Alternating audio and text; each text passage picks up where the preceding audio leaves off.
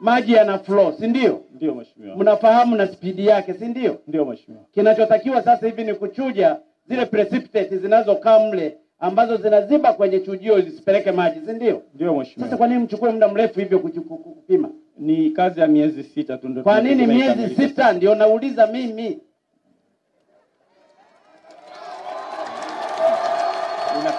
Yaani wananchi wa Masasi wakae wanasubiri miezi sita? Ah, inakamilika sasa hivi na Ah, nataka unieleze be specific. Ndio mheshimiwa. Eh, usindanganye hapa kitu. Hapana sidanganye. Miezi sita wanasubiri haya maji, mnapima tu, mnafanya feasibility study na detail design ya chujio litakavyokaa. Chujio lina ukubwa gani? Litatibu uniti elfu kumi linafanywa na consultant mheshimiwa. Who is consultant? I just want to get the answer now. Unajua waziri, wataalamu wako hawa wanakuchelewesha. Yaani miezi sita nafanya feasibility study. Why? Chujio lipo, mmeshaliona linauzwa wapi? Hapa ni linajengwa ni, ni ujenzi. Sasa kama linajengwa, kwa nini mnachukua muda wote huo wa kufanya feasibility study? Barabara hii ukitaka kufanya feasibility study kwa kujenga kwa rami, it might take even one month or two months, na utajua daraja liko wapi, upana gani, load reserve iko kiasi gani, and so on. Miezi sita unafanya feasibility study. Wewe ni engineer, Ni engineer unachukua miezi sita kufanya feasibility study ya chujio moja, ndicho ulichofundishwa chuo kikuu. Ni, ni mkataba mheshimiwa ambao Mkataba si mmeuandaa ninyi? Mkataba kwa nini muandae kwa miezi sita? Maana yake hao watu wakawa wanasubiri mkataba wa upumbavu wenu mlioufanya. Waziri, umenielewa waziri? Nakupa wiki mbili, na kama wametayarisha mkataba wa miezi sita, nendeni mkaufute. Una watu wa ajabu, waziri, profesa. Nataka nikueleze ukweli, hawa ndio wanakuchelewesha. Huwezi ukafanya feasibility study, unatumia neno feasibility study, ni upembizi yakinifu kwa Kiswahili cha hapa Masasi. Miezi sita, chujio moja, yaani shida kweli. Nitazungumza mpaka nizungumze mara ngapi? Waziri, sitaki hiki. Tumekuelewa mheshimiwa. Nataka wiki mbili wamalize feasibility study, halafu waanze kulijenga. Na saa nyingine sio lazima hata kufanya feasibility study, they can do it by design and construct method. Anadanganya nini hawa viraza wakubwa? Profesa, nenda ukalisimamie. Mimi nimekaa kwenye construction industry miaka kumi na saba, hakuna mtu wa kunidanganya. Wiki mbili wao wamemaliza hiyo draft ya feasibility study, waanze kujenga design and construct method. Kama mna mkataba mmeweka hivi, mkaufute leo, mtajua ninyi mtakavyoufuta. Nataka maji yapatikane hapa. Feasibility study ya miezi sita ya nini? Waziri, nimeshakueleza sikutakiwa mimi nizungumze haya hadharani, inaudhi. Miezi sita anafanya feasibility study huyu. Ni nani ambaye ni consultant? Lamaya GKW. Si ninyi ndio mmemwandaa pale?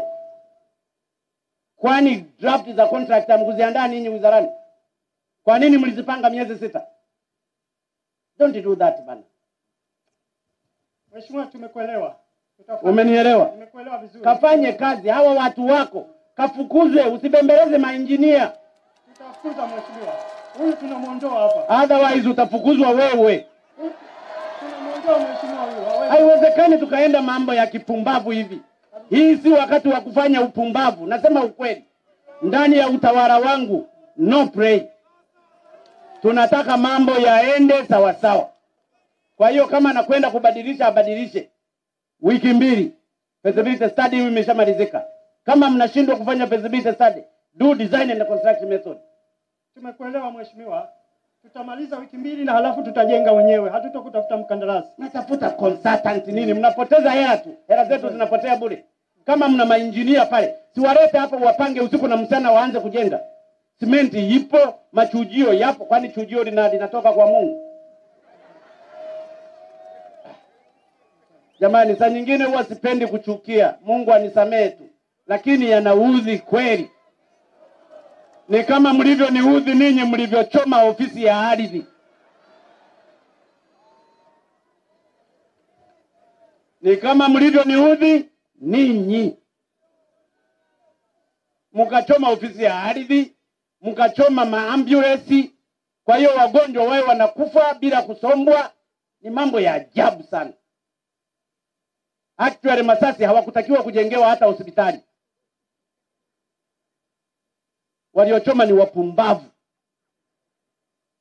Ni lazima tufike mahali tuambizane ukweli. Tunakusanya fedha ndogo ndogo kwa Watanzania kwa ajili ya kuleta maendeleo kwa wananchi ambao ni masikini. Mnasimama mnaanza kuchoma ambulensi, mnachoma hospitali, mnachoma ofisi ya ardhi.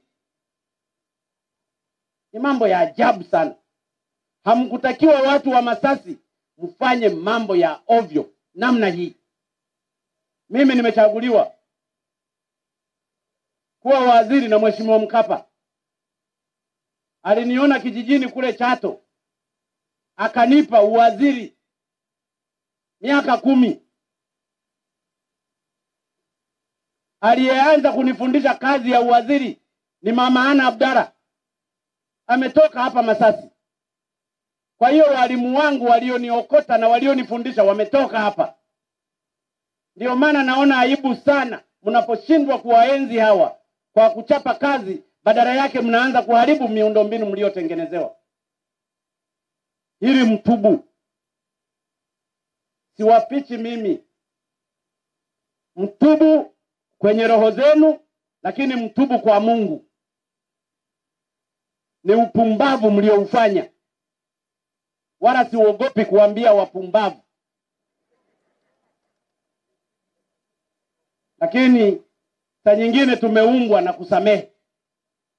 Najua waliowasaidia kuchoma ni watu wachache tu, sio wananchi wote wa Masasi.